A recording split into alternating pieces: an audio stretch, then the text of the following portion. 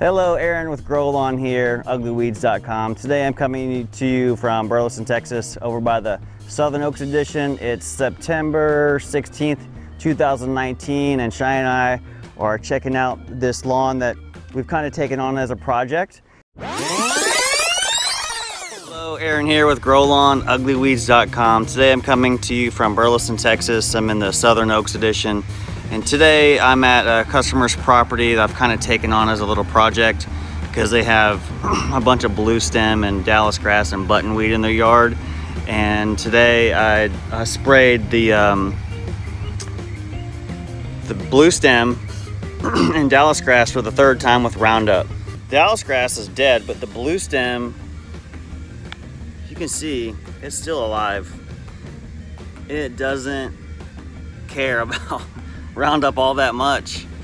It's, it is hot, so it's fair to say that the blue stem might be stressed out a little bit, but this yard is getting plenty of water, so I can't imagine that that's the reason why. So if you're struggling with blue stem and you're spraying it with Roundup, it's gonna take a couple times, and don't give up on it. Make sure it's dead before you start digging it up or putting new sod out, because you don't want it to come through back again. Um, today I've also sprayed the crabgrass on this property. Uh, continuing, um, continuing my test with manuscript, and I'm using this for the um, crabgrass. Here, here's some crabgrass right here. It's very mature crabgrass. I sprayed it at the label rate of 0.44 ounces per gallon, and I did just did a spot treatment in this Bermuda section. And here's what I used to do it with. And there's, they also had some Dallisgrass and blue stem in their St. Augustine that I sprayed with Roundup.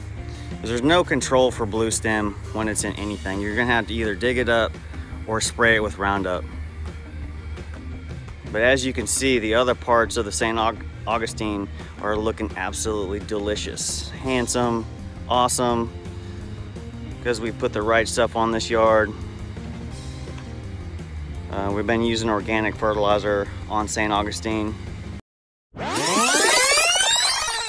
And what we did is we had some blue stem, some Dallisgrass, and some buttonweed.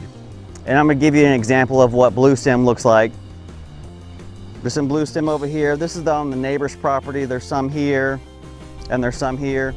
And the only control for blue stem and Dallisgrass currently is Roundup or, or dig it up. So what we did in this case is we talked to the homeowner and we told them what to expect. And this is what to expect when, once the weed has died, it's gonna take some of the, the grass with it. And so this is what it'll look like. These kind of spots here. And over here, this is the Bermuda grass. There was some Dallisgrass over here. Notice you're gonna notice some, some crabgrass and stuff. That's okay, I'm not worried about that. That's an annual weed easy to control. Um, this spot here, all of these spots, these had blue stem in it. As you can see over here, we got some some blue some blue stem that died off. You can see the dead the dead plants. Now what I'm doing today is I'm going to go and some of the blue stem didn't die. So what I'm going to do is I'm going to go back and follow up and just hit some some of the areas that, that got missed or that didn't completely die. I'm gonna go over here and show you guys how to mix up some Roundup. I have a gallon of fresh water. So what I have is I just have regular glyphosate. Uh, this is a generic version. And I have a surfactant. A surfactant is what we add to the product to help the, the uh, herbicide stick to the plant. I have one gallon and I'm going to put, I'm gonna use a 3% mix, so it's gonna be almost four gallons or four ounces to a gallon. So there's my four ounce line. And I only need about a half an ounce of uh, surfactant. It doesn't take much. This stuff goes a little bit, goes a long way. There's my half ounce. Oh, that's almost an ounce. There we go. Shake it up. What's good about this backpack sprayer, it's the electric pump, so I don't have to pump it constantly. And this is a Chapin I'll put uh, what kind of sprayer is down in this description and also the Roundup. So for example, this is a spot that had the blue stem on it and there's a, there's some right here that didn't that uh, didn't get controlled. So there's that one. Now I pulled some of this blue stem up so I could see where it was because it's it's mixed in with the St. Augustine and because you, you, really can't see it sometimes. So what I've done is I've I pulled up so I could know where to spray. Here's some more over here. And so when you're applying a spot treatment like this, you're gonna spray the plant to wet. If it's if you spray it and it's dripping off, that's too much. Here's some of the crabgrass that we sprayed with the manuscript. We sprayed this whole area with the manuscript.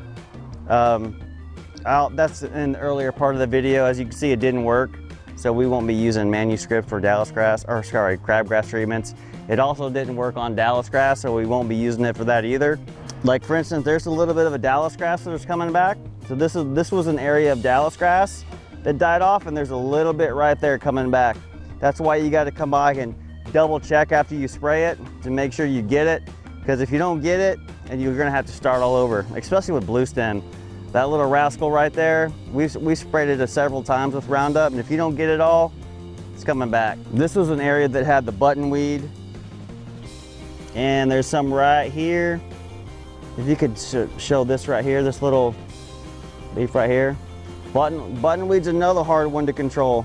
So I'm gonna hit that.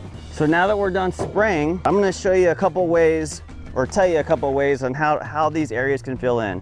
One, this Bermuda and St. Augustine will eventually spread from the runners. Um, St. Augustine has above ground runners, which are called uh, stolons, and they run across the top of the ground, and that's how that grass could spread. Bermuda, they have rhizomes, so that it'll spread that way too. If you've ever had a flower bed, anybody in North Texas has flower beds, wonders why their flower beds have Bermuda three, four feet in from the edging, is because it's a rhizome that went under the edging and popped up in the middle of their flower bed. And then before you know it, you got a flower bed full of Bermuda grass. So I have this, this right here. This is a really cool thing. I'll put this in the description also. It's called the Planting Tool Pro Plugger. And what you're gonna do is now that you've sprayed your areas and they're dying, I'm not gonna pick an area that I, I sprayed with a Roundup, even though it would probably be okay. Again, there's a big misconception how Roundup works. It's uh, foliar absorbed and it gets down into the root system and that's how it works. If you spray it on, it's not gonna affect your seed, it's not gonna affect uh, woody plants like that tree. I can spread the base of that tree and it wouldn't affect it. It's absorbed through foliar leaves, translocates down into the root system and that's how it works. So for example, if I wanna put a plug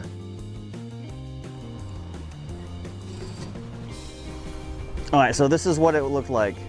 It pulls a plug like this, and then you just go over to an area here.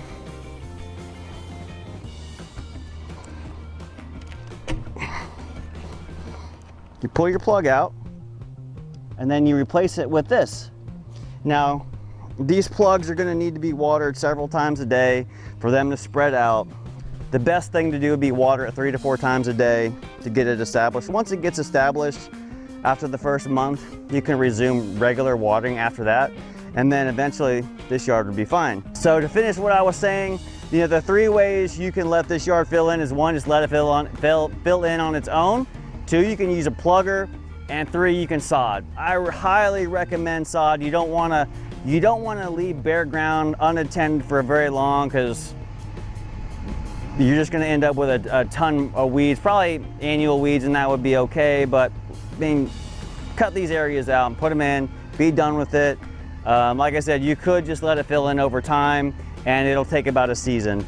Yards that are worse than this or you've had to spray more Roundup are obviously gonna take maybe two seasons to fill in, but for right now, there is no control for Dallisgrass that doesn't kill the rest of your yard too, and that goes for blue stem especially.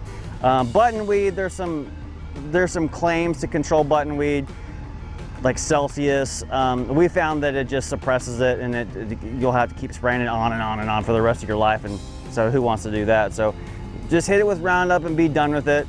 If you have any questions about Dallisgrass, blue stem, or buttonweed, or any, anything like that, give us a call. Um, we can help you.